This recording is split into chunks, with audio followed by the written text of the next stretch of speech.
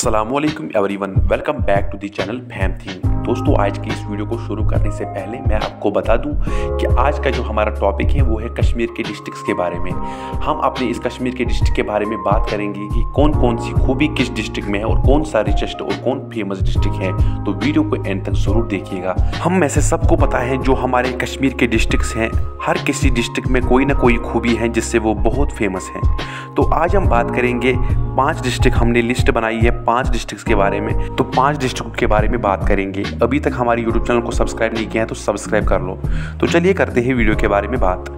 Number पाँच की अगर हम बात करें तो शोपियन आता है नंबर फाइव पर। शोपियन को पहले शुपयान कहा जाता था। ये एक हिल डिस्ट्रिक्ट है और अगर हम इसकी एरिया की बात करें तो 6012.9 किलोमीटर इसका एरिया है। अगर हम पुराने वक्त की बात करें तो पुराने वक्त में शुपियन को शिन वन कहा जाता था, लेकिन आज इसको एप्पल बाउल भी कहा जाता है, यानी कश्मीर की एप्पल बाउल शुपियन को कहा जाता है, क्योंकि इनका जो रिसोर्स है वो एप्पल ही है, यानी सेब। और नंबर फोर पे जो डिस्ट्रिक्ट आता है, उसका नाम है अनंतनाग।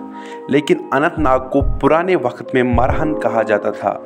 था कोई बादशाह जिसने इसको लोकेट किया था और उसने इसका नाम रख लिया था मरहन और अगर हम इसके एरिया की बात करें तो 3574 किलोमीटर्स इसका एरिया है। और अगर हम बात करें अनंतनाग में बहुत सारे पिकनिक स्पॉट्स हैं जिसकी वजह से ये बहुत मशहूर हैं।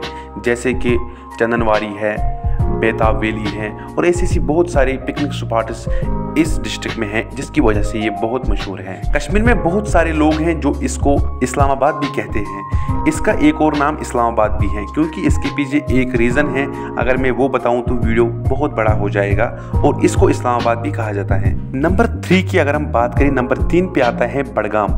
बड़गाम को पहले तहसील श्री प्रताप कहा जाता था। क्योंकि इसका भी कोई बादशाह था जिसने इसको लोकेट करके यही नाम दिया था और इसका नाम था तहसील श्री प्रताप।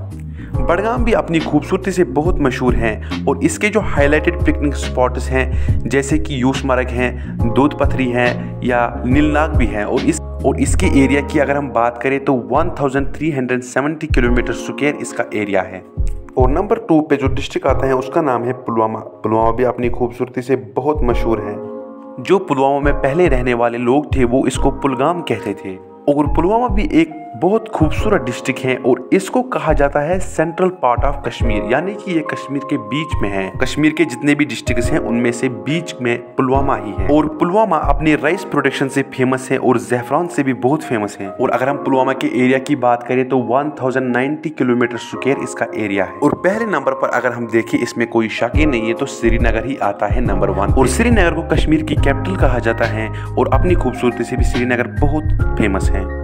श्रीनगर के पिकनिक स्पॉट्स की अगर हम बात करें तो इंदिरा गांधी टूलिप गार्डन आता है डल लेक आता है, और शालीमार बाग भी आता है, और जिसकी वजह से श्रीनगर बहुत फ़ेमस है। हमने आज साउथ के कुछ डिस्ट्रिक्ट उठाए थे। आगे हम बात करेंगे और डिस्ट्रिक्ट के बारे में, क्योंकि कश्मीर में बाईस डिस्ट्रिक्ट हैं। इन पाँच डिस्ट्रिक्टों में से आपको कौन सा डिस्ट्रिक्ट अच्छा लगता है, वीडियो के कमेंट बॉक्स में ज़रूर बताइएगा, और दीजिए इजाज़त नई वीडियो तक। तब तक के लिए अल्लाह हाफिज़।